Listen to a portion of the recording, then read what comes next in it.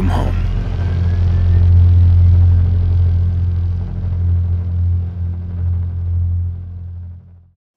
Yo, what's going on YouTube? Apoqsi here, and this is probably the one thing about Fallout 4 that makes me the happiest.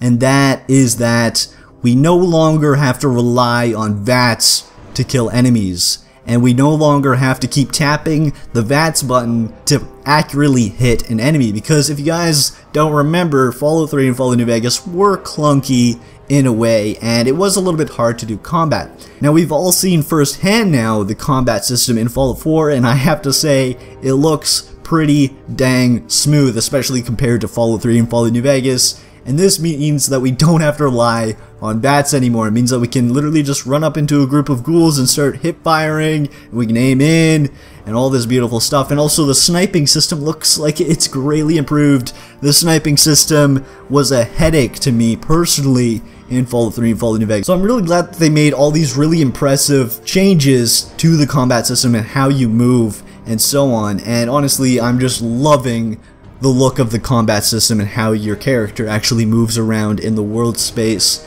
And I'm just really excited. And also the third person just looks phenomenal in my personal opinion. I'm not sure whether people that play in third person enjoy it, but I think that the third person looks absolutely phenomenal compared to Fallout 3 and Fallout New Vegas. And honestly, I'm just really excited to actually start gunning down feral ghouls and deathclaws with a power armored minigun and so on. And it's going to be a lot of fun. So anyways guys, let me know your thoughts down in the comment section below on this new combat system, no longer having to rely on VATS, because I know there's actually some people out there that actually don't even like VATS, so it's a great addition for those people, and honestly just overall, because I really hated relying on VATS. When I'm in a tight space, I don't want to be using VATS.